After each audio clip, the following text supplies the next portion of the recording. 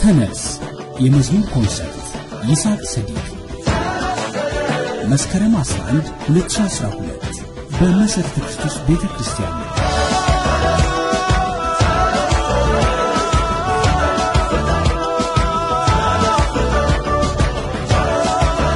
ተነስ! የመዝሙር ኮንሰርት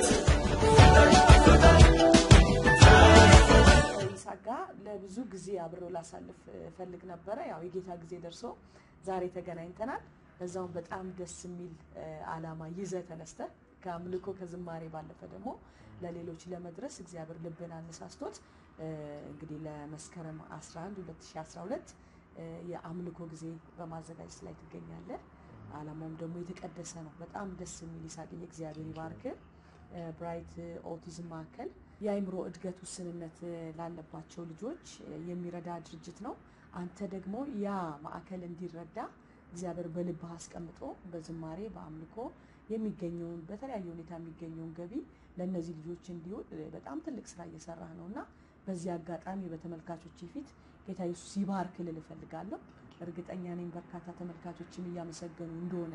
ምክንያቱም ይህ ትልቅ ነገር ነው ለተቸገሩ፣ ለወደቁ፣ ላዘኑ እርዳታ ለሚያስፈልጋቸው ሰዎች ሁሉ መድረስ የጌታም አንዱ ዓላማ ስለሆነ እኔም ማምነው የዚህ ምድር የህይወት ጉዳይ የኑሮ ጉዳይ አይተሽ ከሆነ የፈለገ ብትሰሪ የፈለገ ብትደክሚ ብትቆፍሪ ምናምን ሞልቶ የሚሞላ አይደለም። ልክ ነው። እግዜር ሲሞላለሽ እግዜር በረከት ሲሆንልሽ ትንሹ ነገር ሲያበዛልሽ እርካታ ሲሰጥሽ ካልሆነ በስተቀር ህይወትሽን በራስሽ መስራት አትችልም። ልክ ነው። እስፔሻሊ ደግሞ አገልጋይ በተቻለ መጠን ምራቁን ዋጥ ያደረገ መሆን አለበት። ሁሉ ካማረን ሁሉን ለማግኘት ከፈለገን በሁሉ ሰው የሆነውን መሆን ካማረን ሰው የደረሰበት ቦታ መድረስ ሩጫችን ከሆነ መቼም ጌታን አክብረን አገልግለን የሆነሽ ስራ ሰርተን ማለፍ እንችላለን ብዬ አላስብም። እና ትንሽ ትንሽ እንደው የአቅሜን ያክል ለማገዝም ለመቆረስም ያክል ምክንያት ጊዜ ካደረገኝ ብዬ በማሰብ ነው እንጂ ያው ከማንም ተሽዬም በልጬም አይደለም። እንደዚህ ለማድረግ ዝም ብዬ ሳስበው ገንዘብ አይደለም የሚያስፈልገው፣ ልብ ነው የሚያስፈልገው። ልብ ካለ እግዚአብሔር ውስጥሽን ካዘጋጀልሽ ትንሿ ነገር እግዚአብሔር ያችን እንደ ምክንያት ተጠቅሟት ለእነሱም በረከት እንደሚያደርገው አስቤ ነው ይህንን ነገር ያደረግኩት። ወላላሽ ነገር ነው። እግዚአብሔር ይመስገን። ይስሐቅዬ፣ የተወደዳችሁ ተመልካቾቻችን ቆይታችሁን ከኛ ጋር እንድታደርጉ ጋብዛለሁ። በጣም ደስ ያለኝም ጭምር ማለት ነው። እግዚአብሔር ዘመንን ይባርከው። መግቢያ ላይ ተናግሬ ያለው የብራይት ኦቲዝም ማዕከልን ለማገዝ ያዘጋጀኸው ኮንሰርት አለ በቅርቡ በ2012 መስከረም 11 ላይ ማለት ነው እና እንዴት ነው ይህን ነገር የተቀበልከው? ምን አይነት ሁኔታ ላይ ነው ያለው? ጥሩ እየሆንልህ ነው ወይ? አንዳንድ ጊዜ ፕሮግራም ስታዘጋጅ ትንሽ ከበድ የሚልበት ሁኔታ አለ።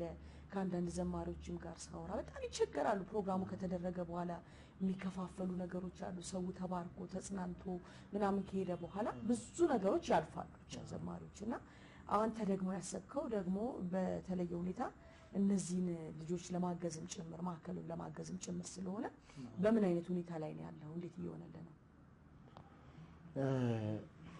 መነሻ ኮንሰርት በዚህ ክረምት ለማዘጋጀት እቅድ ነበረኝ በዚህ አመት መጀመሪያ ላይ ራሱ እና አልበም የዛሬ አመት ነው አልበም የወጣው እና የዛሬ አመት ክረምት ላይ ደግሞ ኮንሰርት አደርጋለሁ አመቱ ሳያልቅ በፊት ብዬ አስቤ ነበር እና ኮንሰርት ያው ሲታስብ ብዙ ወጪ አለው።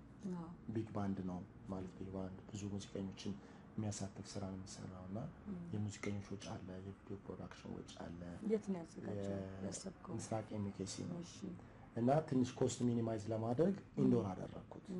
outdoor ከሆነ የ light የ stage እና የ sound system ወጪ ብቻ 250 ሺህ ብር የሚፈልገው ውጭ ከሆነ እሱን ስቀንስ አሁን ያለብኝ ወጪ 11 ሙዚቀኞች ወደ 77 ሺህ ብር አካባቢ ነው። video production ወደ 50 ሺህ ብር ነው። sound recording እና mixing ወደ 50 ሺህ ብር ነው። መድረክ decor፣ light፣ smoke ምናምን የሚባል ነገሮች ወደ 45 ሺህ ብር አካባቢ cost ያደርጋሉ። ትንሽ ደግሞ የአዳራሽን ኪራይ አለ።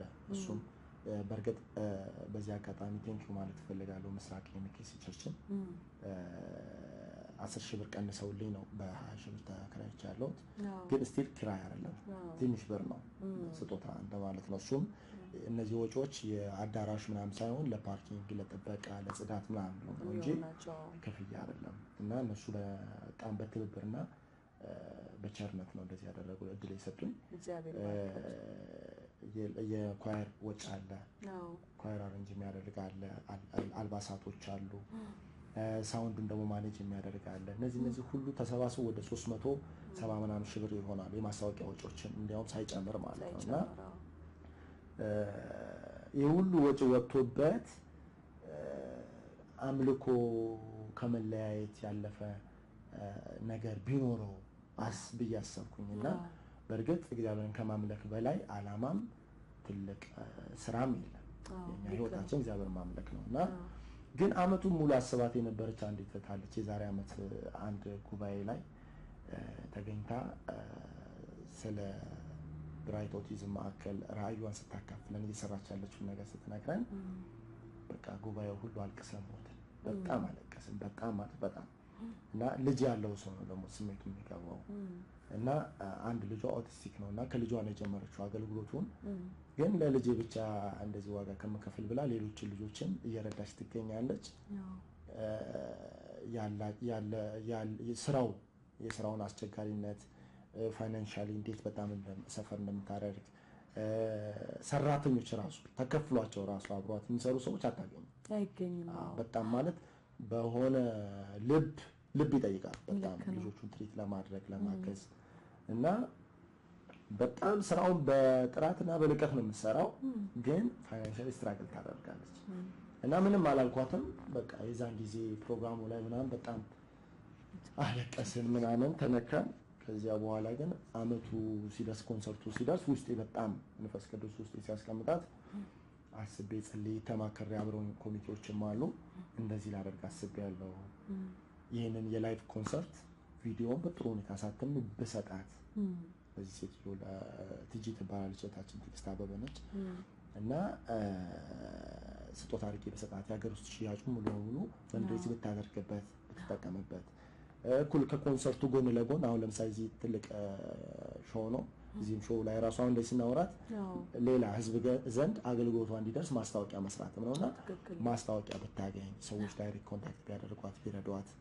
እና የዕለት ሁለት ኮንሰርቱ ላይ በጣም ብዙ ሰው ይመጣል። እና ደቂቃ ሰጥቻት ብታወራ እና direct ደግሞ bless ብናደርጋት ምናምን ብዬ አሰብኩኝ እና በጣም ደስ አላቸው። ስነግራትም በጣም በቃ ደስ ብሏት ተነክታ በጣም በቃ ማልቀስ ነው የቀራት። ምክንያቱም ቀጣይ ዓመት በጣም ተጨንቃ ነበር ቀጣዩን ዓመት እንዴት እንደምሰራ እና ኮንሰርቱ እንዲያውም እኔ financially እየተቸገርኩ ጊዜውን በገፋው ቁጥር የምጨነቀው ለእሷ ነው። ሰርዘዋል ፋይናንስ ሲስተካከል ይሆናል። ግን በመካከል አላማ ኖረው አላማው ደግሞ ከኔ ያለፈ ነው እና አሁን ቀብድ የሚከፋፈሉ ጊዜ ነገሮች አሉ። በጣም ብዙ ሰዎች በተስፋ አጠገቡም እና በተስፋ ብዛት አሁን ጆሮ የራሱ ሰብ ሰብቷል። በተስፋ ብዛት አሁን አንዳንድ ጊዜ እኮ የሚገዳደርም መንፈስ አለ። እውነት አንዳንድ ጊዜ አይመስለንም ይሆናል እንጂ ሳቄ ሰው አስቦ በልቡ አስቀምጦት ምናምን የሚሰራው ነገር ትልቅ ስለሆነ እግዚአብሔርን የምታመልክበት ነው ደግሞ አየህ። ስለዚህ ሁለት መንገድ ነው ያለው። በአምልኮ እግዚአብሔርን የምታመልክበት በዝማሬ ደግሞ በሚገኘው ነገር ለሌሎች በረከት የምትሆንበትም ስለሆነ የሰዎችንም ልብ ደግሞ አስበው ወደኋላ ብዙ ጊዜ እንደዚህ አይነት ነገር ስለገጠመኝ ነው። ግን በዚህ አጋጣሚ ይህን ፕሮግራም የሚከታተሉ ቃል የገቡልህ ሰዎች በጌታ ፍቅር ያንተን አምልኮ አንተ እዛ የምታደርገውን የሆነ ኮንሰርት አስበው ብቻ ሳይሆን ለሌላም ተጨማሪ ሰዎች እየደረሱ እንደሆነ አስበው እንዲነሳሱ በጌታ ፍቅር እጠይቃለሁ። በጌታ ፍቅር ይኸው ፊት ለፊት ወደ ካሜራው ዞር የይስሐቅም ጆሮ ትንሽ ሳይ- ሳይረዝም ሳይጨምር ቶሎ እንዲደርሱልህ በጌታ ፍቅር እንጠይቃለን። ግን ደግሞ በዚሁ ደግሞ አያይዤ ይሳቅዬ በእውነት ይህን ፕሮግራም የሚመለከቱ ልባቸው የሚነካ ሰዎች እንዳሉ ፊል አደርጋለሁ። አንተ ስታወራ በእውነት ነው የምልህ እኔ በቃ የሆነ ነገር ነው እየሆንኩ ያለሁት በጌታ ፊት። ለምን በጣም ትልቅ ነገር ስለሆነ ይዘህ የተነሳው ማለት ነው እና ከስር ስልክን እንጽፋለን ልባቸው የቀና ጌታው የት እናርግ በምን እናገልግል የሚሉ ሰዎች ደግሞ አሉ። ዩቲዩብ ላይ ደግሞ እንጭነዋለን። ዩቲዩብ ላይ ደግሞ ልክ ስጭን የኤልሮይ ፕሮግራም የሚከታተሉ ሰዎች አሉ። ለብዙዎች ደግሞ የሚደርሱ ለታመሙ፣ ለተቸገሩ እየደረሱ ደግሞ አብረው የሚቆሙ በርካታ ሰዎች ገና እንደተጫነ ሌሊቱ ሙሉ የሚደውሉ በጌታ ፊት ነው ከኢትዮጵያ ውጭ ያሉ በርካታ ተመልካቾች አሉ። በጌታ ፍቅር እነዚህን ልጆች እንድታግዙ ከእህታችን ጋር እንድንቆም እንግዲህ ጸሎቷም ተሰምቶ ይሆናል። እግዚአብሔር መቼስ ብዙ ታነባለች። አንዳንድ ጊዜ የጀመርከውን ራእይ ማፍረስ በጣም የልብ ስብራት ነው። ከምንም በላይ ልጅ ድንገት ከእጅ ስታጣው የምትሰበረውን ያህል እግዚአብሔር የሰጠህን ራእይ ጀምረ ማቆም ራሱ በጣም ከባድ ኪሳራም ጭምር ስለሆነ ምን ላርግ እያለች ከመጨነቅ እንድናተርፋት አብረናት እንድንቆም አብረናት እንድናገለግል ከአንተ ኮንሰርት ጋር ሰዎች እንዲቆሙ በጌታ ፍቅር ጥሪን አስተላልፋለሁ ማለት ነው። ተነስ የመዝሙር ኮንሰርት ይስሐቅ ስዲቅ መስከረም 11 2012 በመሠረተ ክርስቶስ ቤተ ክርስቲያን